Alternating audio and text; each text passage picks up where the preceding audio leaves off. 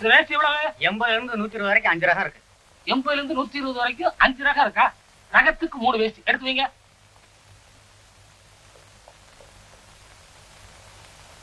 இது என்ன புடவை? புல் ஆப் ஆயில் அப்படியா? ரெண்டு புல்லு ரெண்டு ஆப்பு ஒரு குவார்டர் இந்த கடல் எப்படி? மீட்டர் அறுபது ரூபா. அப்படியா? ஒரு ஒரு கிலோமீட்டர். ஒரு கிலோமீட்டரா? வேணா அரை கிலோமீட்டர். அண்ணாச்சி நம்மகிட்ட ஒரு ஆயிரம் ரூபாய் இருக்கு. நாங்க எடுத்தெல்லாம் கணக்கு பண்ணி ரவுண்டா ஒரு ஆயிரத்துல கொண்டு வந்து நிறுத்திருங்க. நீங்க ரவுண்டாக்க சொல்றீங்களோ சதுரமாக்க சொல்றீங்களோ அதை செய்ய வேண்டியதானே எங்க வேலை? நிச்சயமா நீங்க தான் முதலாளியா இருக்கணும். அண்ணாச்சி நமக்கு ஒரு இடத்துல ஆயிரம் ரூபாய் பணம் வரணும். உங்களுக்கு நம்பிக்கை இல்லைன்னா தம்பி அனுப்புனீங்கன்னா கொடுத்துறேன். ஏய் போயிட்டு வாடா. தம்பியை நம்பலாங்களா? சொந்த தம்பிங்க தங்க கம்பி கண்டா பார்சல் எடுத்துக்கோ. என் பின்னாடி வா நான் சைக்கிள்ல இருக்கிறேன். வா வா சுருக்கா வா. வாங்க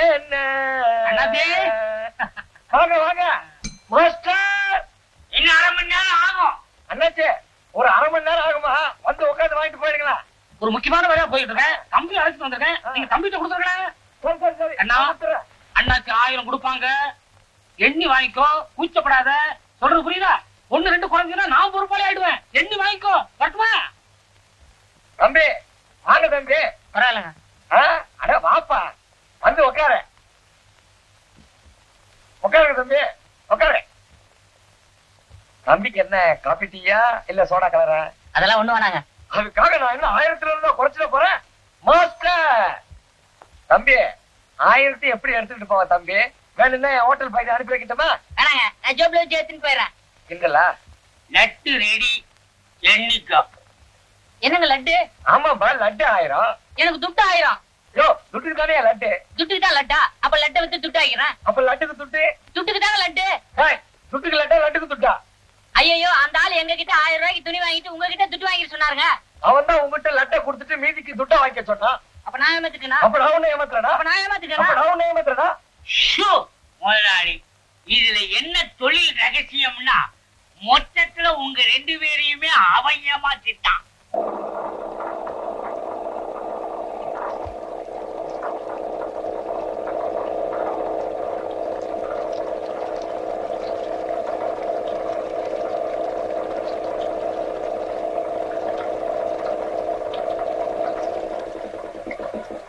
ஏய், எவன்டா ஆஃப் பண்ணது பத்து மணிக்கு கரண்ட் போயிரும் உனக்கு தெரியல ஏன் கத்துற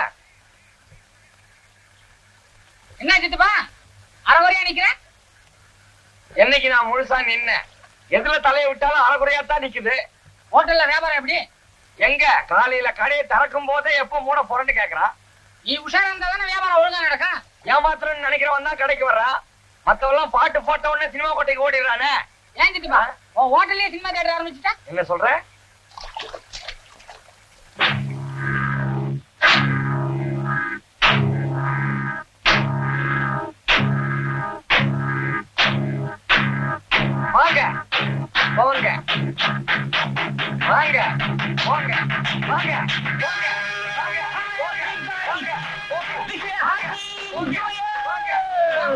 Thank you.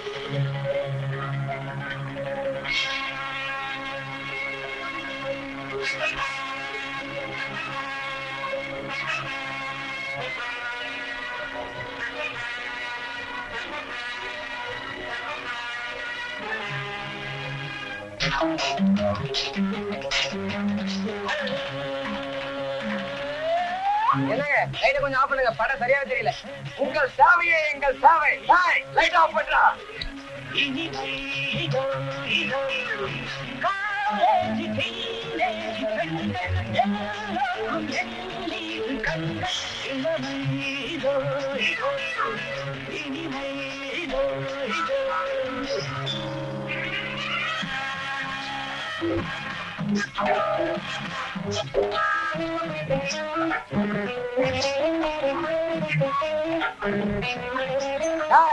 லைட்ட போடுறா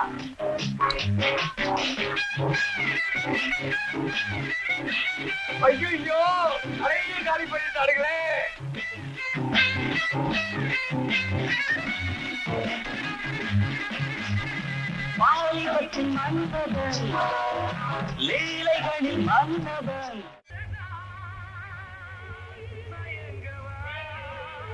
ஏய் இங்க வா. லைட் போட்டு தான் படம் காமிப்பேன் இஷ்டமா? ஐயா லைட் போட்டு பார்த்தா படம் நல்லா தெரியாதுங்களா? நல்லா தெரியுற இடத்துல போய் பாரு. நீ இதோட திவால் தான். அடிச்சல் போல சார் ஏஸ் லைட் போட்டு தான் படம் காட்டுவேன் இஷ்டமா? எனக்கு லைட்டோட பார்த்தா தான் பிடிக்கும். சார் என்ன சாப்பிட போறீங்க? ஸ்வீட் ஸ்வீட்டா மாஸ்டர் சார ஸ்வீட்டா கவனி.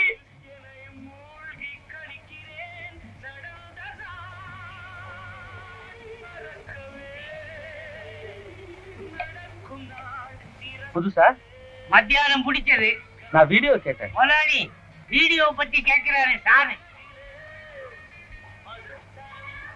என்னங்க? வீடியோ எங்க வாங்குனீங்க? நமக்கு ஒண்ணு வேணும். வாங்கி கொடுத்தா கமிஷன் கொடுப்பீங்களா? சீப்பா வாங்கி கொடுத்து தரேன். பேப்பரோடவா பேப்பர் இல்லாமலா? நீங்க எப்படி வாங்குனீங்க? ஐயாயிரம் ரூபாய் அதிகம் கொடுத்து வாங்குறதுக்கு நான் என்ன மடையனா? பேப்பர் இல்லாம தான். அப்படின்னா? கடத்தல் சரக்குதான் ஓஹோ.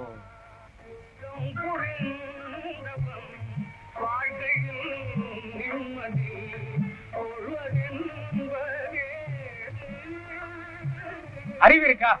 கடத்தல் வீடியோ வீட்டுல வச்சு பார்த்தாலே பிடிச்சிருவாங்க. நீ கடையில வச்சு காசு வாங்கினா விட்டுருவாங்களா? எல்லாம் என் நேரம் கையை கொஞ்சம் காட்டு. ஒரு பூ பேர் சொல்லுங்க. மல்லிகைப்பூ. பத்துக்குள்ள ஒரு நம்பர் சொல்லுங்க. ஒண்ணு. காலையில எழுந்திருச்சு யார் முகத்துல முடிப்பீங்க என் பையன் தான் என்ன எழுப்புவான். அதனாலதான் நீங்க ஜெயில் வரைக்கும் வந்திருக்கீங்க. அதுக்கு நான் என்னையா பண்ணணும்? அது தானா நடக்கும். என்ன? மீன் குழம்பு? எனக்கு கொஞ்சம் தரக்கூடாதா? அண்ணா! வா வா! இல்ல இல்லம்மா யாரு கூட? நம்ம ஆண்டாள் கூட தான் கொடுத்து வச்ச வேண்டாம் நான் ஏன் பிறந்தேன்? பாண்டியா? ஏய் நான் உனக்கு பெரியவன் இல்ல ஏன்டா என்ன பாண்டியனை கூப்பிட்டேன் நான் அண்ணன் தான் கூப்பிட்டேன் உன் காதுல அப்படி கேக்குது. ஓஹோ ஒரு வாட்டி கூப்பிடு. பாண்டியா?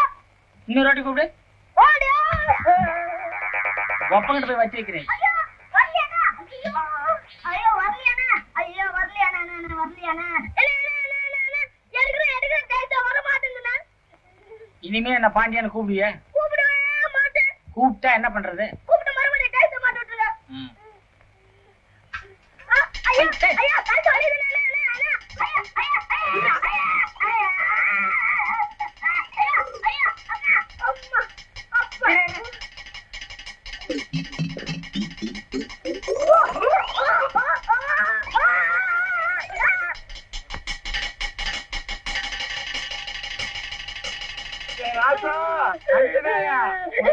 என்னப்பா ஆச்சு ஐயோ எந்த தருதலடா உன் தலையில இதை மாட்டிச்சு? அனந்த் அன்னைக்கு கடையில கடத்தல் வீடியோவை காட்ட சொல்லி என்ன போலீஸ்காரன் பிடிச்சிட்டு போயிட்டான். இன்னைக்கு உன் தலையில தோசை மாட்டி வச்சிருக்கடி உன் பையன் தலைக்கு சொம்பு தான் சரியா இருக்கும் ஜெயிச்சா மாட்டேங்கிறேன் சந்தோஷப்பட்டுக்க. அடிச்சு இருப்பால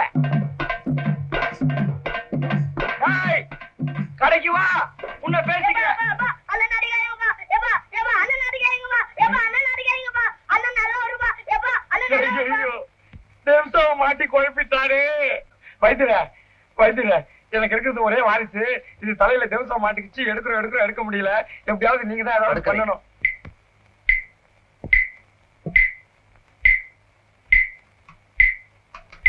எவ்வளவு நேரமாச்சு தேக்ஸா மாட்டி? ஒரு மணி நேரம் ஆச்சுங்க.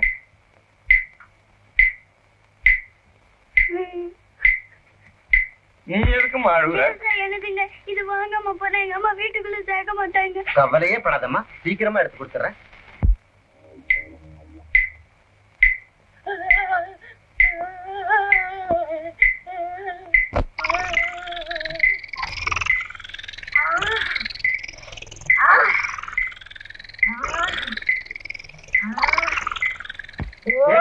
காசு பொண்ணுகிட்ட கொடுத்துருங்க. தேக்ஸாவை கழட்டவே முடியாது. காலையில எழுந்திருச்சு யார் முகத்துல முடிப்பீங்க என் பையன் தான் என்ன எழுப்புவான். அதனாலதான் நீங்க ஜெயில் வரைக்கும் வந்திருக்கீங்க. அதுக்கு நான் என்னையா பண்ணணும்? அது தானா நடக்கும். ரொம்ப நன்றி வைத்தியரே.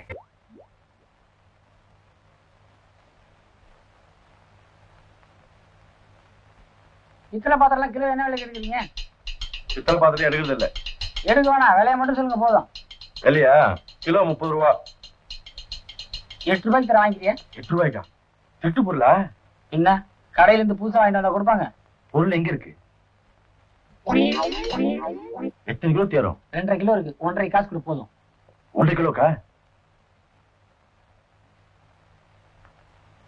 ஜாக்கிரதை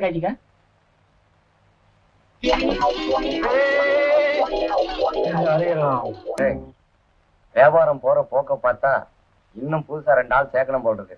முதலாளி. எனக்கு ரெண்டு நாள் லீவ் வேணும். எதுக்கு? மனசே சரியில்லை. மனசு சரியில்லையா உடம்பு சரியில்லைன்னா தான் லீவு போடா போய் வேலையை பாரு.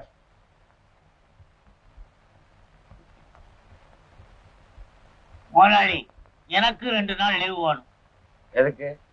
மனசு தெம்பாட்டா இருக்குது உடம்பு தான் சரியில்லை. எந்த பகுதியில? ஐயோ நிறுத்தியா? யோ உங்களுக்கு எல்லாம் லீவு என்ன கடையை மூட்டு போறதா? எவனவனுக்கும் கடையை மூடுறீங்க எங்களுக்காக ஒரு நாள் கடையை மூடப்படாதா. கடையில யாரு?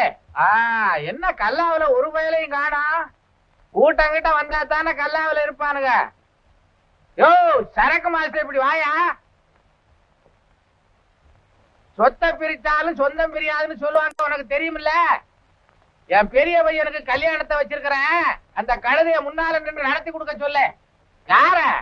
உங்க தம்பி. அதே கழுதைதான். கேள்விப்பட்ட கேள்விப்பட்ட. பெரிய பையன் இந்த மாதிரி வாயில்லாதவன்றதுக்காக அவனுக்கு ஒரு ஊமை பொண்ணை கட்டி வைக்கிறதா? அவ்வளவு அக்கறை உள்ளவன் முன்னாடியே வந்து ஒரு நல்ல பொண்ணா பாக்குறது. நான் பார்த்து ஒண்ணு ஆக வேண்டியது இல்ல தினமும் சின்னவனை பார்த்து எல்லாம் பேசிக்கிட்டு தான் இருக்க இனிமே பேசுறதுக்கு ஒண்ணு இல்ல. கல்யாண பத்திரிக்கை எல்லாம் அடிச்சாச்சு.